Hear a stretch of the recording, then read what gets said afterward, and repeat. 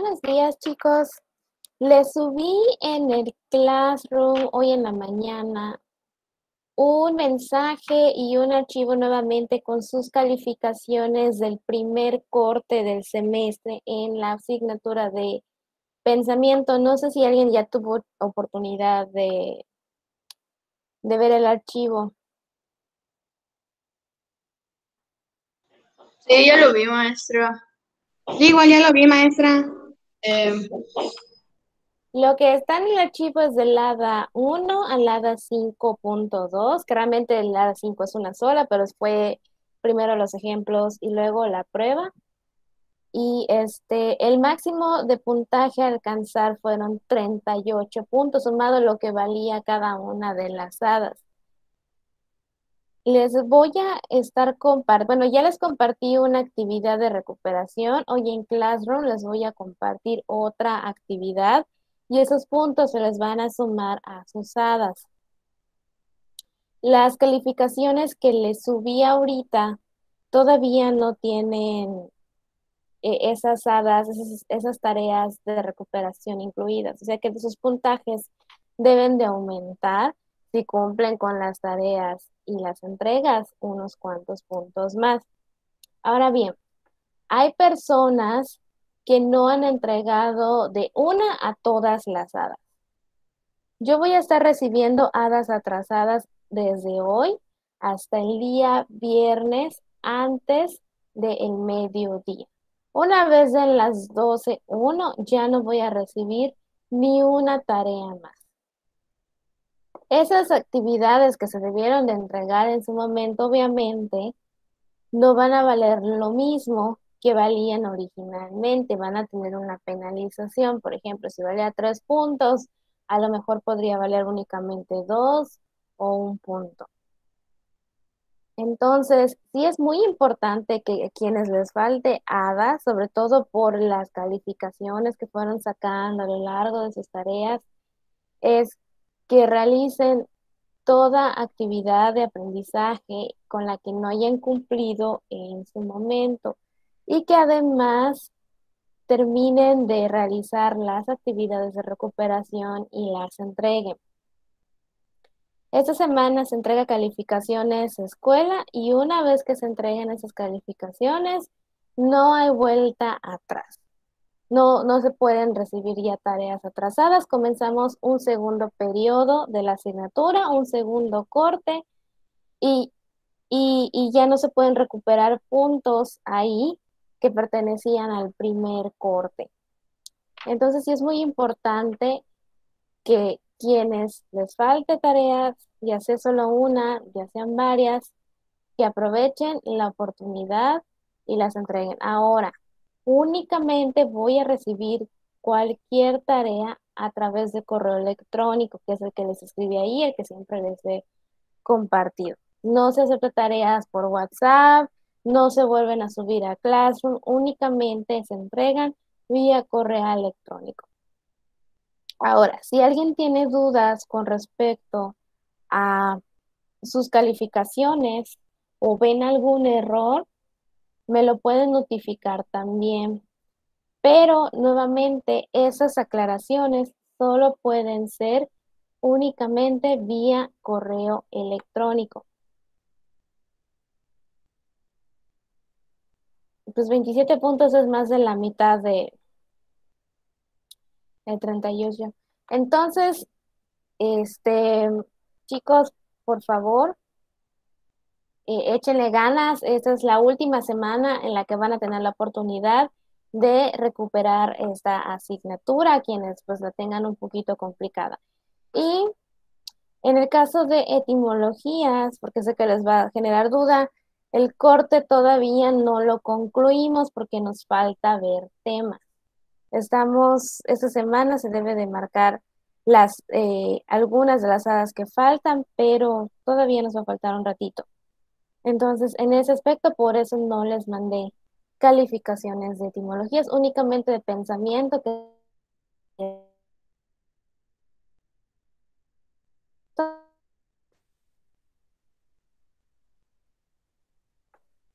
¿Ninguno? maestra, yo, yo tengo un, ajá. Es que chequé mi calificación, pero me salía una tachita. Eh, o sea que no había entregado una tarea, pero yo ya le entregué todas, maestra.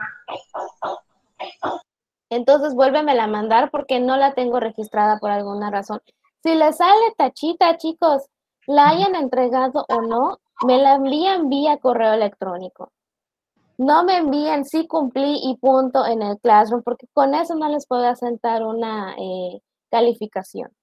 Ya sea por cualquier tipo de error que no se haya asentado, que les aparezca como faltante un ADA en, en las calificaciones, envíenla de nuevo para que se les asiente una calificación en el ADA. Pero lo vimos por su correo, no por class. Classroom. Te acabo de decir. Todas las hadas, desde que empezamos con las aclaraciones hace, hace unos días, hasta ahorita he mencionado que todo se entrega vía correo electrónico. ¿Qué van a entregar en Classroom? Las tareas que están al día. Si marco una tarea hoy y la marqué en Classroom, se sube a Classroom, pero todo lo que estoy pidiendo ahorita atrasado o de aclaración, únicamente vía correo electrónico. ¿Alguna otra duda, chicos? Maestra, yo es que chequé mi calificación y vi que en una de las hadas tenía cero, pero entregué todas las tareas. Podría ser cero. ¿Checaste esa hada? Debí mandarte la calificación por Classroom.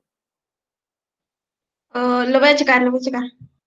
Sí, chicos, existen ceros en la asignatura. ¿Cuándo hay ceros? Hay personas que, por ejemplo, eh, me pusieron en, por ejemplo, en el mapa conceptual de etimologías, me copiaron y pegaron de Google, este, y los mapas conceptuales. No se tomaron la molestia de sus propios mapas conceptuales. Esas personas tuvieron cero.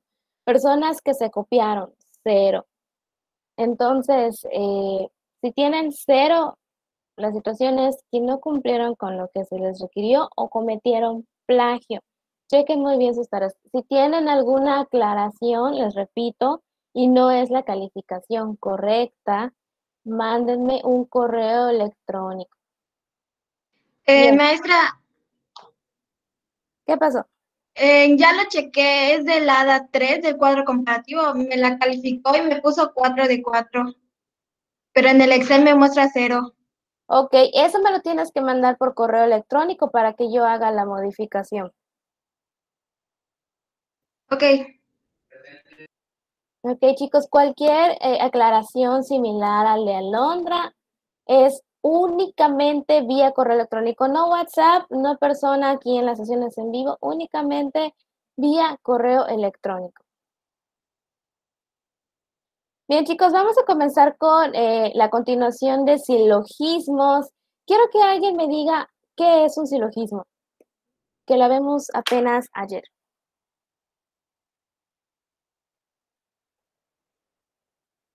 Odedocracia, Kiara, ¿qué es un silogismo?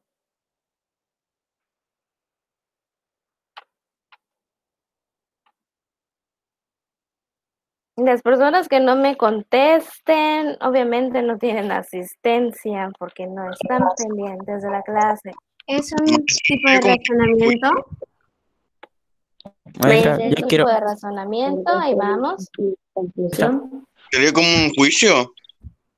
maestra, Mm, pues un juicio es un juicio y un razonamiento es un razonamiento. ¿Puedo intentarlo? Ajá. ¿Está bien? Es un razonamiento deductivo. Bien, correcto. Esa es la respuesta específica a qué es un silogismo. Silogismo es un sinónimo para denominar una reducción o un razonamiento deductivo. La- en sesiones anteriores vimos razonamientos y ya les comenté que silogismos igual se enfocan en razonamientos, pero únicamente en un tipo de razonamiento que es el silogismo o el razonamiento deductivo. Ahora bien,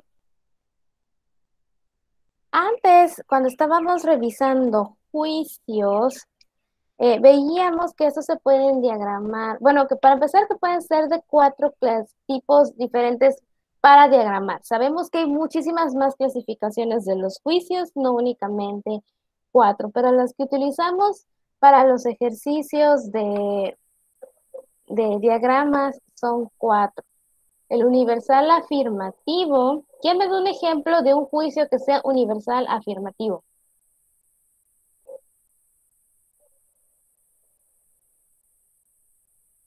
Ya no se acuerda. Por ejemplo, si yo digo, todos los perros ladran. Maestra, yo puedo entender. Ok, Gabriel. O sea, no sé también, pero lo voy a intentar. Es todos los peces nadan, los tiburones nadan. Por lo tanto, el tiburón es un pez. No sé si está bien. Ok, ahí ya llegamos a razonamiento, pero primero estamos retomando un poquito de juicios. Todos los peces nadan es justamente un juicio que es universal y es afirmativo. Acuérdense que universal se refiere a cuando principalmente comienzan las frases con todos, todos los hombres son mortales, todos los árboles tienen hojas, esos son juicios universales, o puede ser ninguno, ningún hombre es árbol, ningún gato ladra. También estamos hablando de juicios universales porque nos referimos a una totalidad. Y por la otra parte tenemos a los particulares porque solo nos referimos a un grupo o a un individuo. Por ejemplo, algunos alumnos llegan temprano a la escuela. Estoy hablando de un juicio que es particular porque no me estoy refiriendo a todo el alumnado, me estoy refiriendo únicamente a algunos de ellos. Si yo digo algunos mm, eh, ventiladores son de techo, no me estoy hablando de todos los ventiladores que existen en el mundo, únicamente de un tipo, son particulares. Si yo digo Sócrates es un filósofo. Maestra, es como si yo dijera todo, no todos, no todos los artistas son famosos. Ajá. Ok, bien. Aquí en ese caso es negativo. Y a su vez, los juicios pueden ser negativos o afirmativos. Como el caso que acabo de dar Alexis, es uno negativo, pero podemos decir, si decimos lo contrario, todos los artistas son famosos, estamos afirmando, no negando. Entonces, en conclusión, tenemos, recordemos, cuatro tipos de juicios. Tenemos un juicio universal afirmativo, tenemos un juicio universal negativo, uno particular afirmativo y otro particular negativo.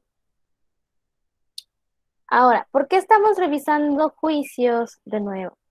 Recordemos que los razonamientos son conjuntos de juicios. En este caso, cuando vemos razonamientos eh, como todos los, todos los hombres son filósofos, o todos los hombres son mortales. Sócrates es filósofo, filósofo Sócrates es, eh, es, un hombre, por lo tanto Sócrates es mortal. Tenemos ahí uno, dos, tres juicios y cada uno de esos juicios se clasifica de una manera diferente. Y de esas clasificaciones, únicamente cada uno va a entrar en una de estas cuatro categorías.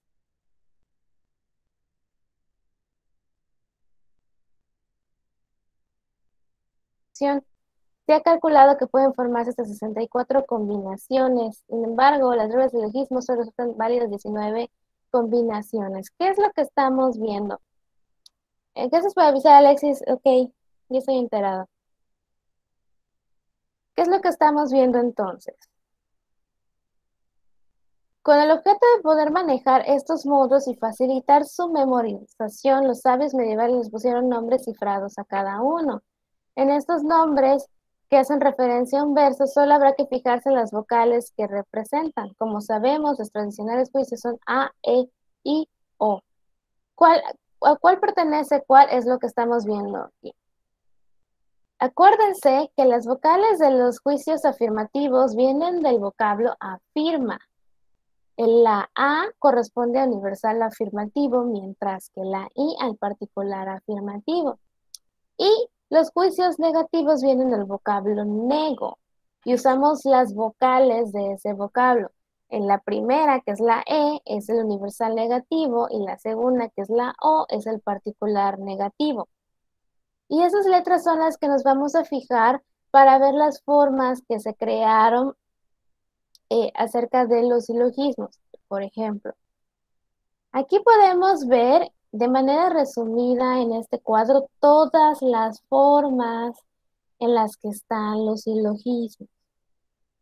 Lo que hicieron antiguamente es utilizar nombres de personas como para memorizarlos. No les voy a pedir que se memoricen, únicamente les estoy explicando cómo funciona este cuadro. Si se fijan, Bárbara, en la segunda columna, el nombre Bárbara tiene tres vocales, que son puras letras A. Y si tiene puras letras A, quiere decir que ese silogismo está formado de puros juicios universales afirmativos. Esto es lo que nos quieren decir los nombres. Las vocales únicamente es lo que nos va a dar la pauta de qué combinación, porque recordemos que siempre los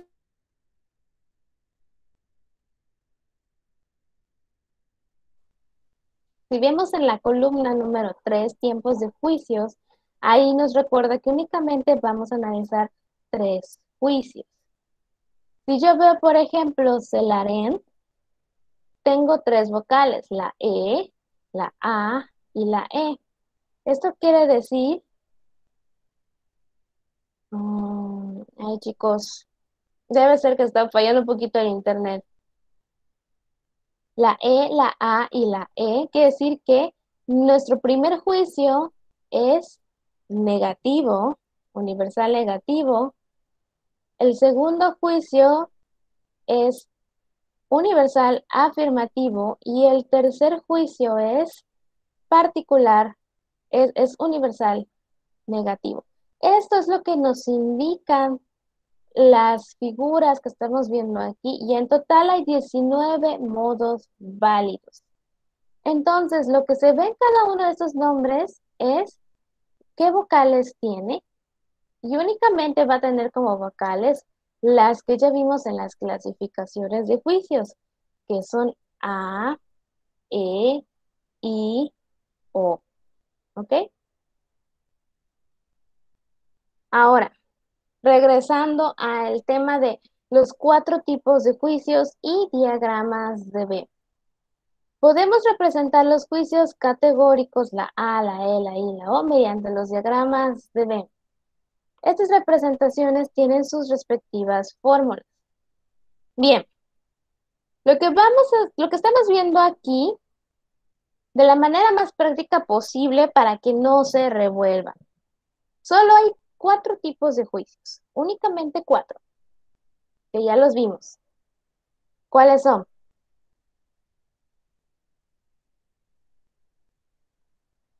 Nadie. es el universal, afirmativo y todos ellos.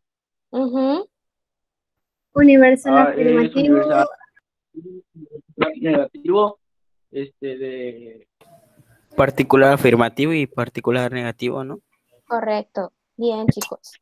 Entonces, como solo hay cuatro tipos de juicios que estamos viendo ahorita, Solo hay cuatro dibujitos que nos van a representar en el diagrama de Venn. Si mi juicio es universal positivo, siempre voy a colorear mi círculo de la izquierda, como vemos aquí en color naranja. ¿Qué dice ahí? Todo S es P, o sea, todo sujeto es predicado. Eso es lo que estamos viendo ahí. Acuérdense cómo se forma el diagrama de Venn usamos dos círculos y de esos dos círculos se crea una intersección. El círculo de la izquierda representa lo que es un concepto, pero lo que, y lo que no es se tacha. El en medio representa aquellos objetos que tienen ambas características y el derecho representa aquellos objetos que cumplen igual únicamente con una de las dos características. Si mi juicio es universal, afirmativo, siempre, siempre, siempre un diagrama de Venn lo va a representar que se coloree del lado izquierdo, como vemos en color naranja. Siempre. Ahora, si yo tengo un juicio que es universal, pero que es negativo, siempre, siempre, siempre voy a colorear únicamente la parte de en medio o la intersección de los dos círculos, como vemos en color verde. Solamente los juicios universales se colorean y los particulares llevan una X o una tacha. Si mi juicio es particular afirmativo, mi X siempre va a ir en medio o en la intersección de los círculos. Y si mi juicio es particular, pero es negativo, mi X siempre va a ir en el círculo izquierdo. ¿Cómo voy a diferenciar entonces si tengo dos que van en medio y dos que van estén al lado izquierdo. ¿Qué juicio es cuál? Los universales se colorean y los particulares se marcan con una tacha o con una cruz. Únicamente vamos a encontrar siempre, siempre estos cuatro dibujos. No hay coloría el círculo de la derecha, coloría el círculo, no.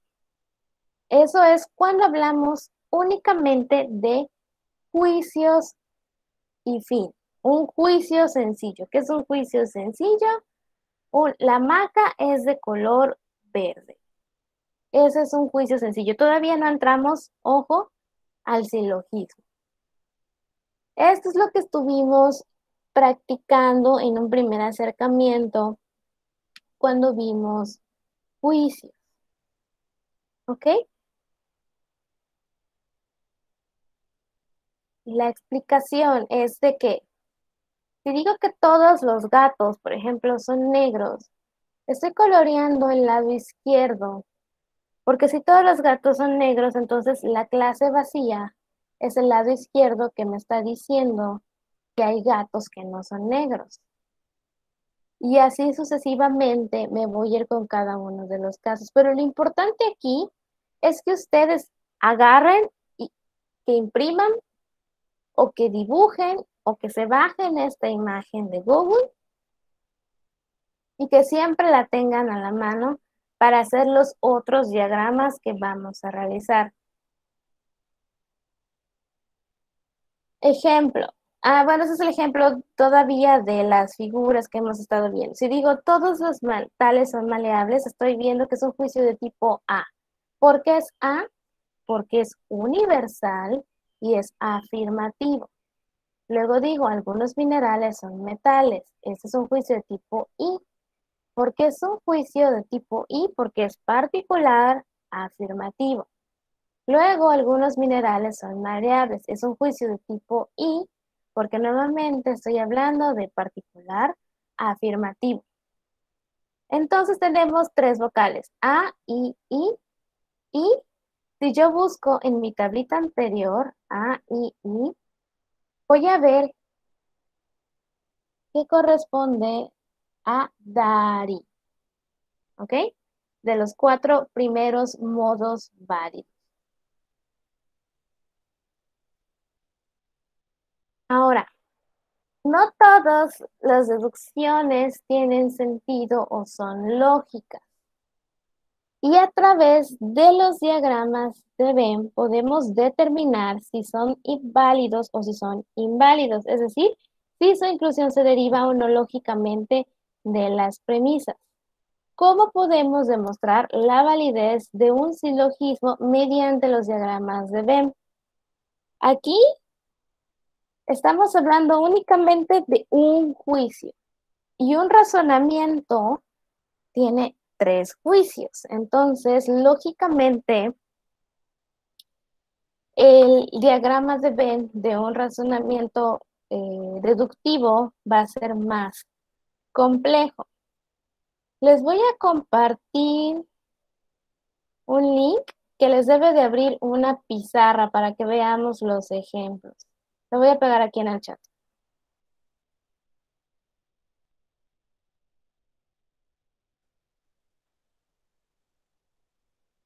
Maestra, a mí me pone que necesito acceso. Igual a mí. Igual a mi maestra. Igual no, a mí. no puede. A ver.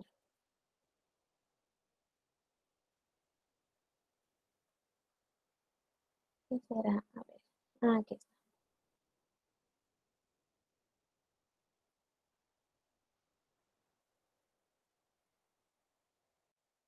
Ok, chicos, vuelvan a intentar, por favor.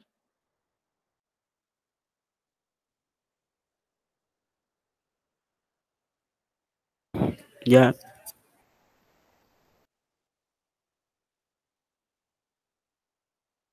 Bien. Ya está, maestra. Ya, profe. Si yo pongo, por ejemplo,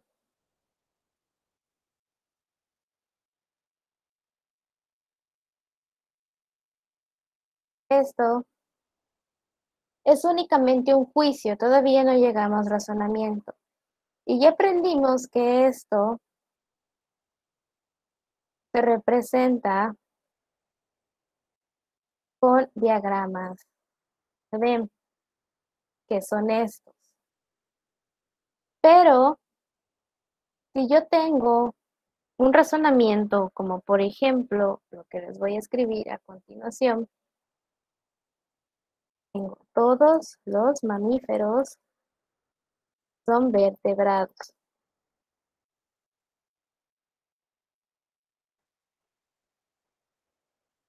Luego voy a poner todos los gatos son mamíferos.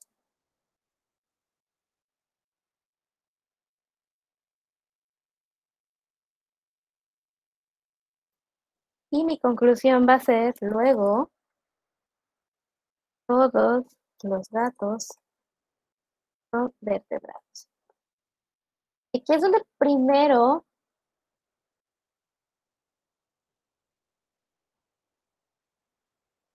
Aquí es donde primero vamos a ver lo que repas lo que vimos, lo que explicamos en la sesión de ayer. Primero que nada, este primer juicio, ¿qué es dentro de mi razonamiento? Universal afirmativo. Mm, Bueno, dijimos que el razonamiento estaba compuesto por premisa mayor, premisa menor y conclusión. Todos los mamíferos son vertebrados, ¿qué es? Premisa mayor. Bien. Esa es mi premisa mayor. Vamos a repasar esto. Todos los gatos son mamíferos, ¿qué es? Premisa media. No hay premisa media. Este. Menor. Premisa menor. Y este último juicio, luego todos los gatos son vertebrados, ¿qué es? conclusión. Conclusión. Bien. Vamos a...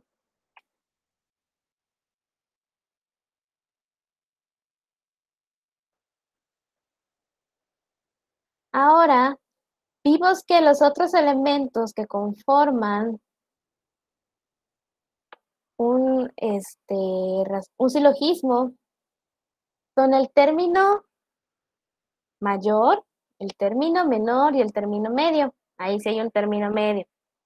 Que esos no son juicios, son conceptos. Estábamos diciendo que el término mayor, bueno, el término menor siempre era ¿qué? ¿Cuál es el término menor en un razonamiento?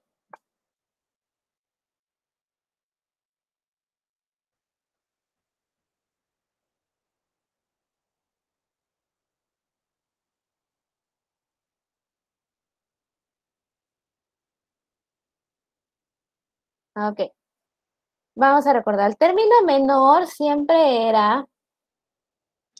Es mamífero, maestra. Sí te acuerdas de la clase de ayer, pero no es el término menor. El término menor siempre era el sujeto de la conclusión.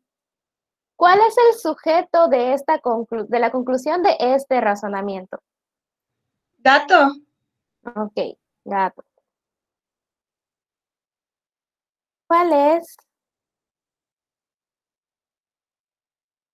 el término mayor de este silogismo? Mamíferos. El predicado. No. El predicado, ¿no?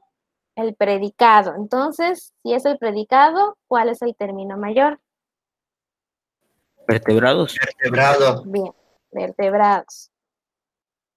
Y ahora sí tengo mi término medio. ¿Cuál es?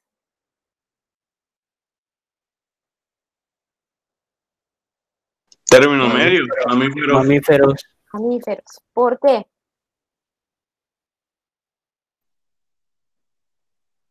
¿Por qué no se encuentra al final la conclusión?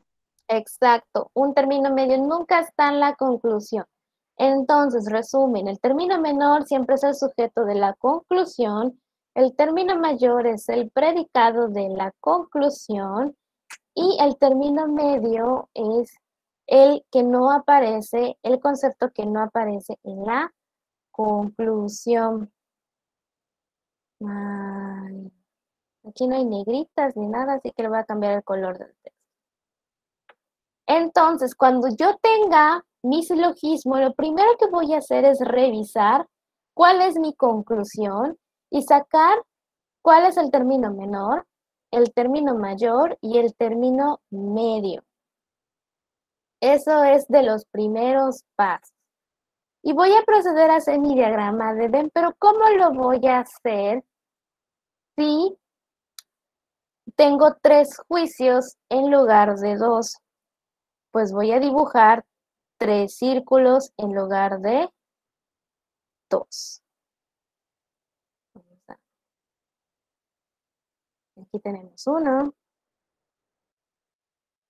tenemos dos, que es como lo conocemos, y dibujamos un tercero. ¿Qué creen que está representando cada uno de estos tres círculos? La premisa mayor, la premisa menor y la conclusión. Cuando hacemos diagramas de Venn, y lo vimos en juicios, nos fijamos en los conceptos. Y aquí nuestros conceptos son los términos menor, mayor y medio.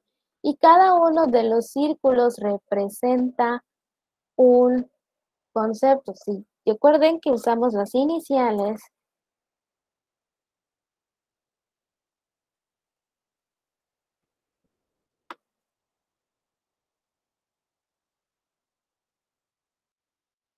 Empiezo con mi sujeto.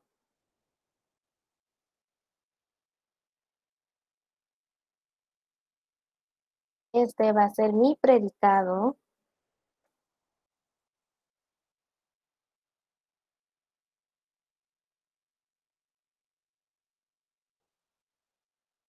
Y, entonces este va a ser mi término medio. Esto es lo que va a representar cada uno de los círculos del diagrama de Venn, que es lo que estamos haciendo. Ahora, vamos a recordar también qué es lo que representaba cada uno de estos círculos. Aquí vamos a poner las tres iniciales, EBM. Pero aquí este círculo solo representa los que son gatos, pero no son ni vertebrados ni mamíferos. Entonces, le vamos a poner una rayita.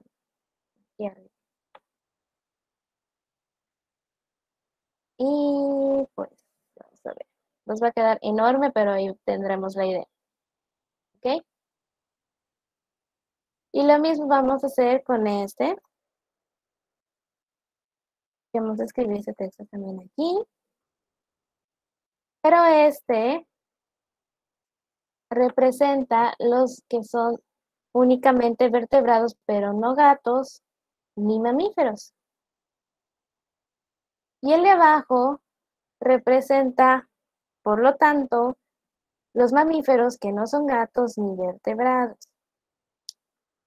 Y entonces aquí tenemos nuestras intersecciones y también vamos a escribir estas iniciales.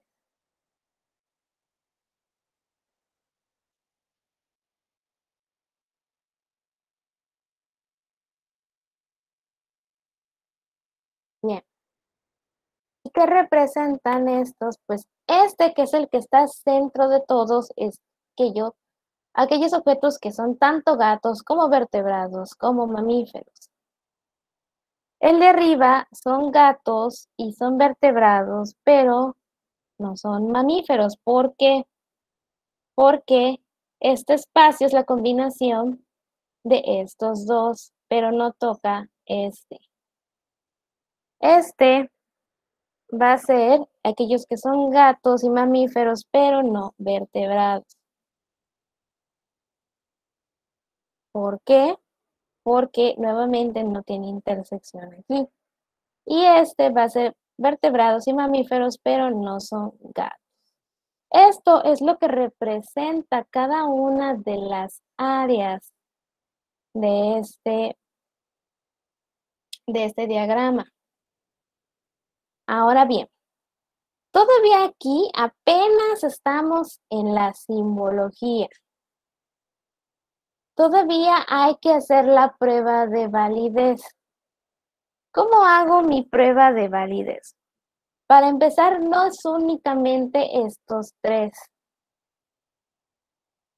Vamos a intentar con...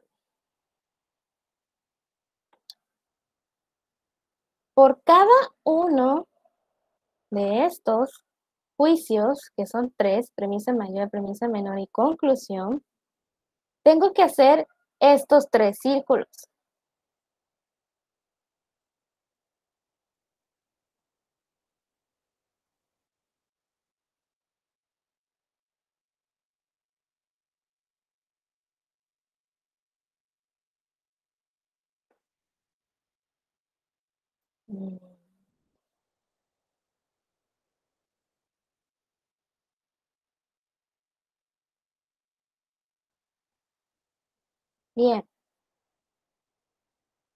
Así, si tenemos tres de estos diagramas, cada uno ahora sí, como decía su compañero, representa uno de los tres juicios. Vamos a suponer que este grandotote es nuestra premisa mayor. El de aquí en medio es nuestra premisa menor. Y que el de aquí abajo es nuestra conclusión. Ahora, vamos a colorear las partes poco a poco. Primero, voy a leer mi juicio, que en este caso es todos los mamíferos son vertebrados. Esta este es un juicio que es universal y es afirmativo. Y yo tengo que colorearlo. Ahora sí, volvemos al PowerPoint.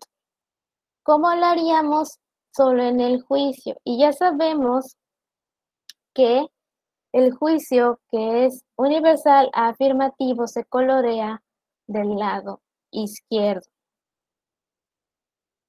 Ya sabemos que aquí uno representa gato, otro vertebrados y otro M. Para hacerlo, entenderlo, vamos a dibujar dos círculos. Esta es, tenemos mamíferos, que es el de abajo, y vertebrados, que es el de arriba.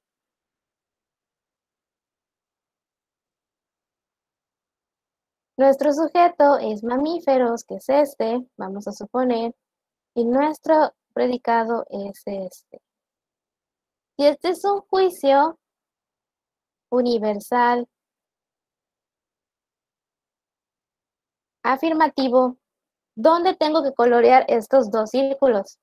O sea, ¿en qué área de estos dos círculos tengo que colorear?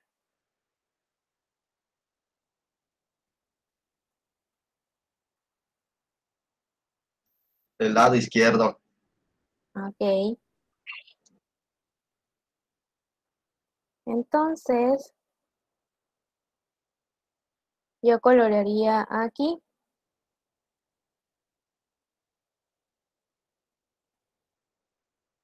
Esto es lo que haría. Y el equivalente es lo que voy a hacer aquí. Que vemos que es esto. Se ve terrible, pero imagínense que está muy bonito, bien colorado. Pero si se fijan, aquí hay otro cachito que está cortadito y aquí está en blanco, entonces también lo vamos a colorear. Y esto es lo que representa nuestro primer juicio, que es... Maestra, ahorita vuelvo, se acaba de caer algo y se rompió. Ok. Que es todos los mamíferos son vertebrados. Y mis manchones no se quitan.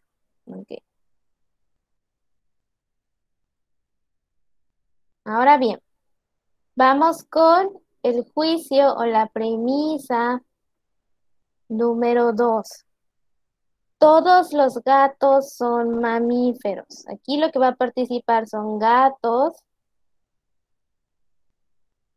y mamíferos. Lo vemos así. Para no confundirnos con los tres circulitos. Este de arriba es gatos y este de abajo es mamíferos. Nuevamente tenemos una premisa que es... ¿Qué tipo de juicio es?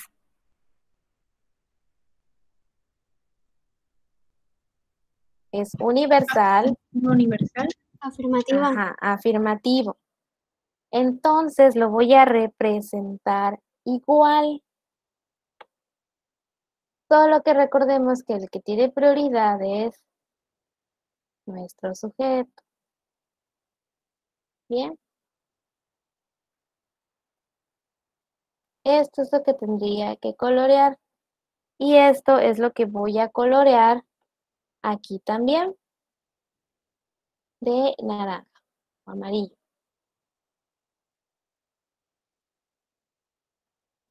Pero aquí también tenemos este cachito que está en una intersección. Hay que completarlo. Entonces vamos a colorearlo también.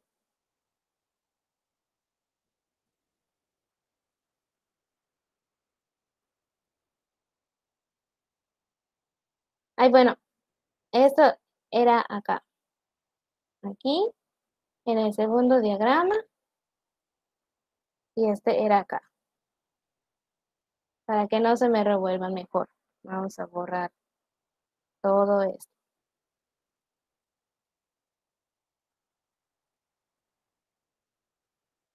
Esto se lo representa la premisa mayor, esta la premisa menor. Y vamos a terminar con la conclusión.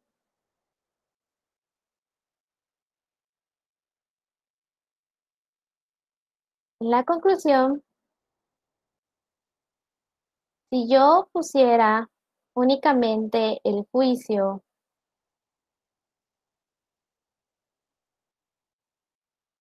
todos los gatos son vertebrados, que nos queda así. Este es gatos y este es vertebrados. cómo debería de colorear, dice que este es un juicio universal afirmativo también. El lado izquierdo. Bien. Entonces vamos a agarrar este. Aquí. Así es como se debe de ver mi conclusión.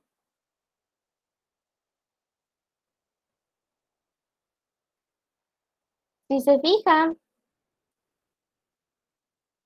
toda esta área debe de estar marcada. Si yo superpongo la imagen de la premisa mayor y la premisa menor, voy a ver que en ambas se coloreó una parte del juicio, bueno, de este círculo, que en este caso es la parte azul y en este caso es la parte de aquí.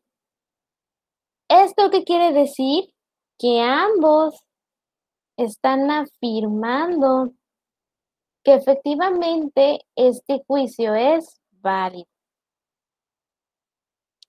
¿Cómo debería quedar el dibujito de mi conclusión? Deben de ser todos los juicios superpuestos. En este caso queda así.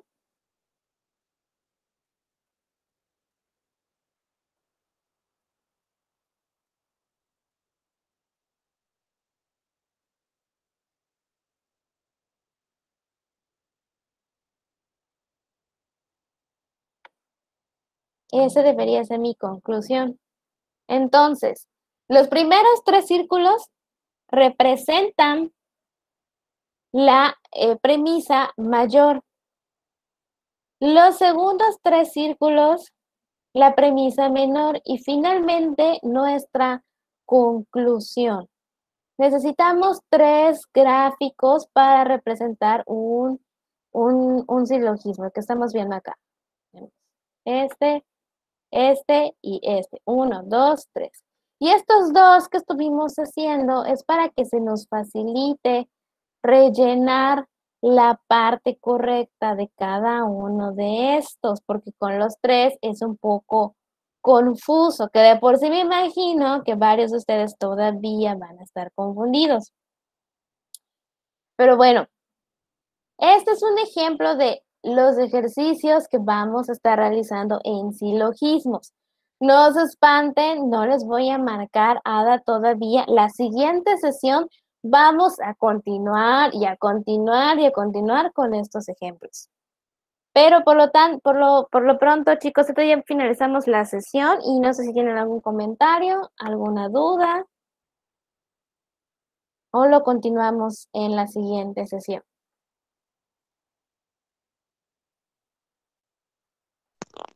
Yo estoy, bien. Ok, vamos a ver más ejemplos de estos. No es el único que vamos a hacer, vamos a hacer muchos ejemplos de estos. ¿Qué pasó? ¿Solo me puede recordar un poquito cómo era el término menor, mayor y medio? Sí, y porque es importante, porque esa es la base, chicos. El término menor, primero, tengo mi silogismo. ¿Qué es mi silogismo? Son estas tres frases la frase 1, la frase 2 y la frase 3. Esto es mi silogismo, todo esto. ¿Qué necesito yo conocer para definir mi término menor? ¿Cuál es el sujeto de mi conclusión? Por eso la conclusión se las marqué, porque la conclusión es lo primero que tienen que ver. Mi término menor es el sujeto de mi conclusión, que en este caso es gatos. Mi término mayor es el predicado de mi conclusión, que en este caso es vertebrado. Y el término medio es aquel que no aparece en la conclusión, pero sí lo vemos en los otros dos juicios. En este caso vemos mamíferos y vemos otra vez mamíferos. Eso es lo que distingue mi término medio de los otros dos, que no va a aparecer en la conclusión. Ahora, ¿cómo voy a dibujar mi círculo? Siempre va primero mi sujeto, aquí del lado izquierdo, del lado derecho siempre va a ir mi predicado y en medio, tal como su nombre lo dice, siempre va a ir el círculo que representa mi término medio. Esa es la base para construir mis círculos. Así que muy importante que entiendan todo esto para poder llegar a esto. ¿Alguna otra duda, chicos? No. Bien. Lo de adentro son los iniciales. Sí, son las tres iniciales.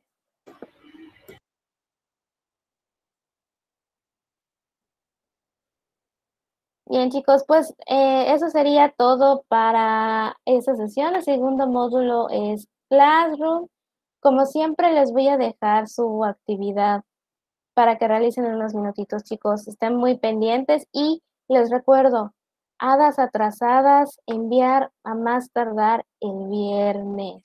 Dudas sobre sus calificaciones, únicamente vía correo electrónico. Bien, chicos, pues nos vemos la siguiente sesión. Ya pueden desconectarse. Maestra, ya se lo envié, no sé si ya le llegó. Maestra. Ay, no sé. Me imagino. Nos vemos, chicos. Adiós, maestra. Gracias. Gracias, maestra. Gracias, maestra. Nos vemos.